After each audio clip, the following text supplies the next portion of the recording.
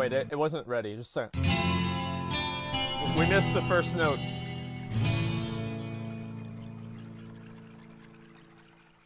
Hey guys, what's up? Mad Season here, back with another video for you.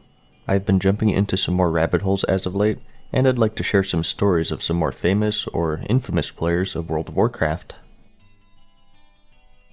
Double Agent is a Pandaren shaman who did something very unique.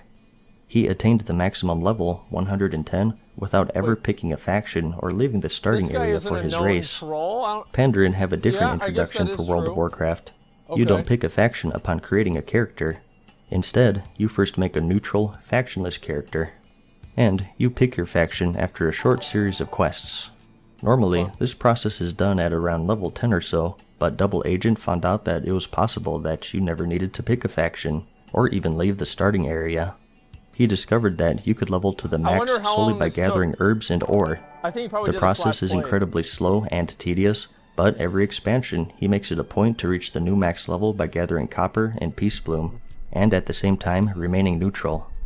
Blizzard saw fit to reference experience at a him by putting an NPC named the Venerable Shaman in the Monk Order Hall, who patrols the area occasionally to mine some copper veins. The fuck, dude? Next on our list, we have Ian Oh, Bates, also affectionately known as the Red Shirt Guy. In BlizzCon 2010, he brought up some lore issues regarding the Wildhammer clan. This was during the Cataclysm beta, and one of the Wildhammers, Falstad, was replaced by Kurdran as a representative of the Council of the Three Hammers, even though Varian Wrynn decided that Falstad was to be the representative. The game designer, Chris anything about this Metzen, incorrectly stated that Falstad was dead, to which the Red Shirt Guy corrected him. No? No, he survived, and in fact, he it was the leader of Aerie Peak and Vanilla WoW at, through Wrath of the Lich King. Of course. Of course. Yeah, Alex, what's up with that? Wow. Thanks, thanks for pointing that out. We're gonna get that fixed. Thank you. Bet.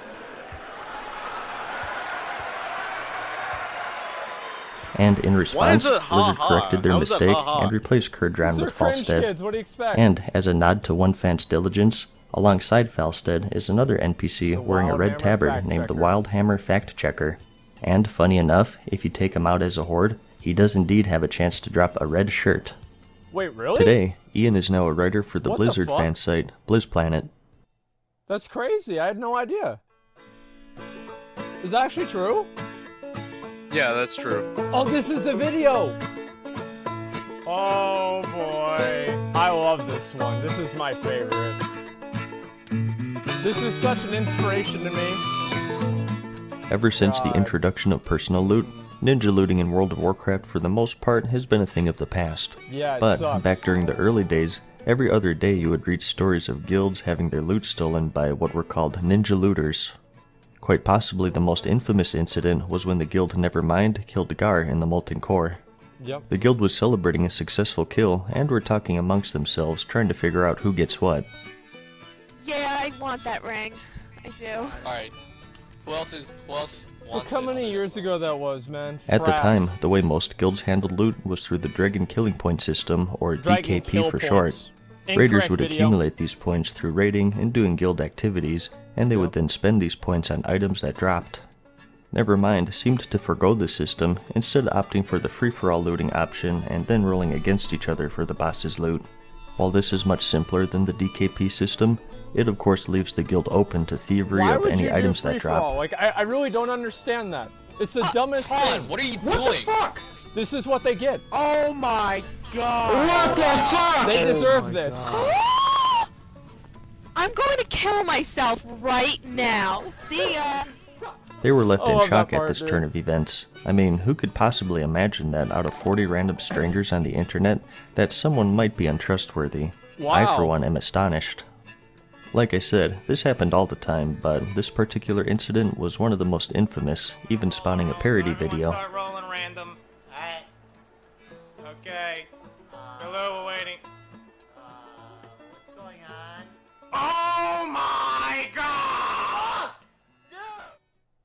Remember that. That was a good video. That was so long ago, too. Oh! This is from In the game, there exists a selection of items reserved for game masters, or GMs. Peeps They're primarily used for testing purposes and have these rather overpowered properties tied to them. Yeah, One of these I items bet. was a shirt called Martin Fury, which upon But use killed all enemies within a 30 yard radius.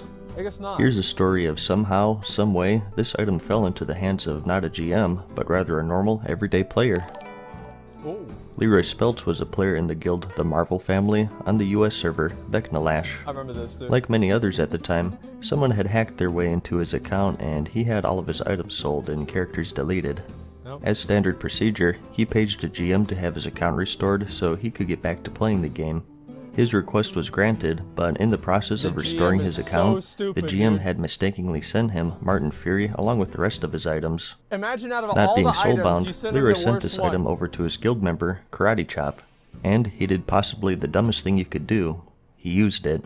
When raid night rolled around, they went on a Northrend world tour, going through the entirety of the Old War raid, the Obsidian Sanctum, and the Eye of Eternity. They oh, one-shotted all of the bosses there and made it rain. Karate Chop was quite liberal There with his is, use of the. GM item, and the guild There claimed several world firsts in the span of an hour. Obviously, people figured out that something fishy was going on. God. The Marvel family wasn't Shit a hardcore so funny. progression guild, and to see them rolling through everything was suspicious to say the least. Well, Yeah, word got out about Martin Fury, and Blizzard, probably in a moment of panic, decided to give a 24 hour ban to not only those involved in the raid, but everyone online in the guild during that time. Wait, Imagine what? the surprise for the level 5s Even in the they Elven weren't during the Forest just doing some questing, Wow. and logging in the next day Well, to find 'em, out dude. that they were banned. I guess Hogger was in a bad mood that day. The way Blizzard handled it was lambasted, and it was basically a giant catastrophe. But after the dust had settled, Karate Chop himself received a permanent ban, and the properties of GM items were changed so nothing like that could ever happen again. Was it really that big of a deal? I think that kind of stuff is funny. It'd be interesting if like there were more GM fuck ups all the time. Just to, let me pause this real quick. Uh, um, is my audio actually bad, or are you guys just saying? Um, this? your mic has been low for a long time. Okay. Uh, let's see. Uh, what do I do? Uh, I turn. I turn. Uh, uh Why don't you look at the mixer and turn it up, uh, dumbass? What uh, how about how about now? Is this better now? Uh, looks. I, I think I turned it up a little bit, right? Is this good? Okay, it's better. All right, yo, my bad. All right, we should be good now. In the early days of World of Warcraft, everyone hated rogues. I should know, I was a rogue They in still vanilla. do. They had a very high damage output, and combining that with stealth made them forces to be reckoned with in PvP. This was when PvP was in its infancy, and there were a lot of balance issues. those bars, man. There were no diminishing returns, crowd control such as sheep could last for a straight minute, and with the rogue having stuns, disorients, and more, it was commonplace to lose control of your character for 30 seconds or even minutes at a time, while you were stuck in a seemingly infinite lock of stuns, disorients, and silences. This was the spotlight in the World of Roguecraft series of videos made by the player Mute. These were a series of This videos really showing right just here. how strong rogues were, giving the following it's two not. conditions. What do you A, mean? you were No, good, yeah, it and. B, you had your cooldowns. You get killed, Given these don't two even have things, to do anything. what would you say if I said that you could beat anyone in the game? What would you say if I said you could do it naked with just a level 1 white dagger? Well, these videos showed just that. What a great a game. naked rogue taking out not only just random I never players, watched that. but rank 14 grand marshals, including Matey, who was a pretty popular Wait, what? PvP You never watched warrior World at of the time. Warcraft? Although there's some Uh, no, I controversy did. about that if it was actually him or if he sold his account or whatever. Regardless, the video showed just how good rogues Oh my could God, be given we're the gonna right watch that right now. circumstances. Okay, They caused just a quite the controversy at the time. People were outraged at how much control rogues had in PvP. Rogues responded saying that they're too cooldown dependent and so on. Yeah. It was an interesting time in the game where, if you were good enough and with the combination of engineer gadgets, you would be able to pull off some amazing things. Nowadays, everyone has a CC breaker, everyone has a sprint, crowd control, everyone True. has a tool for everything Everybody for has the sake everything. of balance. Maybe it's healthier for the game overall, No. but over time, interesting PvP videos like this have vanished. The World of Roguecraft videos, however, are still just as legendary as they've ever been, and I suggest watching them if you want to see an interesting part of the game's history in the realm of PvP. Was it really that broken? I guess so. I don't, I don't understand how like whenever you hit someone with a with a um, you hit them with a hamstring, you figure they're not going to be able to move. How does the hamstring last like two to three seconds? But whenever I get hit with a hamstring, it lasts. Like Yo, two to three true. I don't understand. True. Like, I don't even understand what it is that I'm True. fighting. What is, You can is this consider guy? this one a bonus intermission since I'm not really Yo, sure if this, this is guy. widely known, but this is Well, Tommy and he's having him. trouble with hamstring. I can charge him, and as I am charging, I am slamming on my button that Yep. only hits hamstring, and I'll miss. As in, not like it swings and misses. I won't get a hamstring off. If my only intent on attacking him is to get a hamstring, how the fuck can I miss it? Yeah, They just got the flag right underneath of us, and this guy is running three times faster than I am. How the? You see, back in the day, there was something called this guy. charge dodging. it's The warrior's charge ability wasn't the most reliable, and you jump, and if see? you had good timing, if you jumped as they were charging you, you Oh, would be out of range before they could actually reach and attack you. what a terrible game. This was a PvP tactic used by higher level kinda like players to kite uh, warriors that- more I bet easily. you did. Tommy wasn't a fan of this technique, and he wasn't afraid to let his voice be heard. I don't understand And they fixed why it. it is that I get my ass For him. stopped by these fucking coneheads. His woes continued, and his indignation steadily rose. He refers to his opponents as coneheads, in reference to the look of the Alliance's PvP gear at the time. As his hamstrings failed, so too Ah! did his patience. I just missed again. What the fuck? His rage bar was full, both in game and out of game, and the I only thing this. that got hamstrung that day was his pride. Is this who I think it is? No, this isn't the Bohemian Rhapsody, this is Kungen. Kungen was considered the best warrior tank in the entire game during Yep. the Vanilla and Burning Crusade days. Yep. He was a Swedish player and initially the leader of the hardcore raiding guild, Nihilum. Fucking god, dude. This was one of the There best, if not the best, raiding guilds of Vanilla and the Burning Crusade Yep. expansion, claiming dozens and dozens of world firsts throughout What their is this time raiding. skull thing that people Later say? on, they would merge with another stupid. hardcore guild, Curse, to form the super guild Ensidia, which would continue to get world firsts throughout the Wrath of the Lich King expansion. Some of his other accomplishments would be obtaining the Scarab Lord title from the old AQ40 event, This guy was a along with the legendary god, mount. man. He wasn't really known for a single event like most others on this list, rather just a really good, hardcore player who led an equally amazing raiding guild. Yep. Something that really put him and his guild into the spotlight, however, was a Saronite bomb glitch with the Lich King.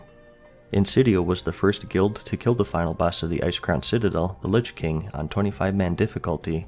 But, to everyone's shock, shortly after, the entirety of the team received a 72 hour ban for exploiting. That's right. There apparently was a bug where That's a right. consumable engineering item, a Saronite bomb, would respawn platforms falling around the room. The ban itself was dude. controversial because these bombs were a part of everyone's DPS rotation, so Ensidia didn't really know what they were doing or why it was happening. They knew. Blizzard observes every world first kill in They small knew. groups, and Kungen later alluded that one of the people in those groups knew him from his time playing another MMO, EverQuest, and that this person was biased against him and was looking for an excuse to drop the ban hammer. But whether you know hmm. Kungen from this controversy, That's or just so from dumb. being a very skilled I player, that, you can't argue that I don't because I knew a person that was able to evaluate this and they saw this happen and he said they were intentionally doing it and I believe him. 100%. Nah. He said they were running out to the edge and doing the bombs. It's long enough now to where I can say that. he's indeed one of the most famous players of World of Warcraft. From now on, nobody goes AFK, nobody falls the fuck asleep, and There it is, everybody man. plays fucking good, or you ain't getting shit! Wait a minute, didn't I just talk about this guy We in the last video? Yeah. Yeah, but gonna hey, come on, he's too good. This guy's the best. He's like a drill instructor for World of Warcraft raiding. That's right. Why do I see people where they're not supposed to fucking be? Why do I see people anywhere but This here? fits. Are you Yeah, this actually really fits well. fucking? What the fuck? Again, this is Dives, the legendary raid leader of the Guild White Wow. Club. That particular clip was after a failed Ragnaros attempt in the Molten Core. Dives, for those who don't know, is probably the most angry raid leader to have ever played the game. That's not And true. when people screw up, he's not afraid to let them know. I don't know if he still plays, but if he does and you join his guild, just remember Hit it very hard. I really wish. I hope he still does play. Speaking of drill instructors, next up we have Shitsu of the guild 6 Feet Deep on Dragonmaw. Nearing the release of the Burning Crusade expansion, guilds were ready to take their adventures into the Outland.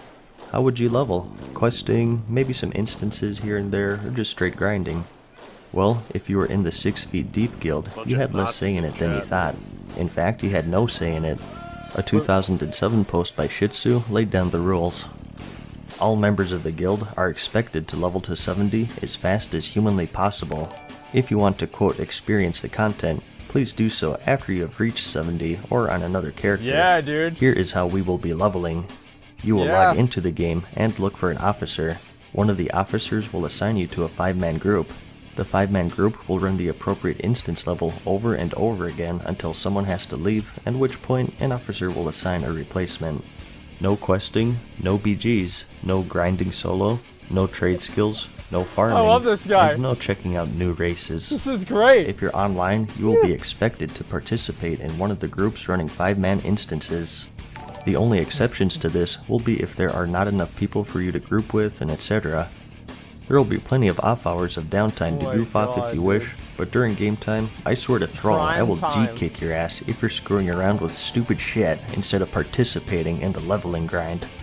Dang, he name dropped Thrall. That's serious business. That's real shit, dude. This was posted to the forums where he was widely Christ. mocked, and in response, he said that I six wish I feet could deep join a members guild are like treated this, more man. like Really? prized athletes than kids. Yes, this is what It's I my want. job to provide clear instruction and focus so that our team is all on the same page, working towards the same goal. It's called leadership. Leadership. That's what matters. They hated him because he was he was doing what he needed. Oh wait, what's this? one? For this next one, I want you to think of anything you can do in the game.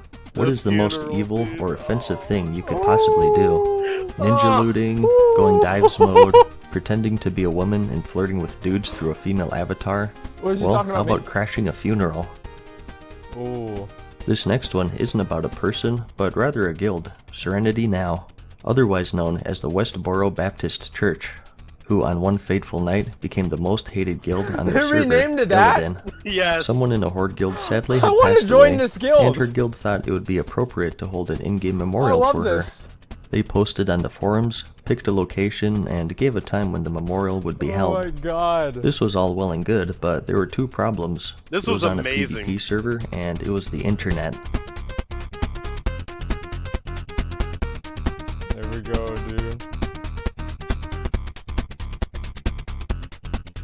An alliance guild, Serenity Now, saw the day. post and decided that they would show up, but it wasn't in a show of support. No. The turnout was very big, and people lined up in front of a pond to pay their respects to their fallen guildmate. That was a big turnout While doing then. so, however, most of them were were also small. dressed up in RP clothes, and they didn't have any weapons or armor Fucking equipped. nerds. Hey now, that would be inappropriate. Yeah. While all of this was going down, Serenity Now were storming through Felwood up to Winterspring, and when they reached the memorial site, the most controversial, large-scale PvP battle in online gaming controversial at all. history took place. It was fucking hilarious. Arrows went flying, blood was spilled, and jaws were dropped. The techno scat man. Oh my I god. I like it.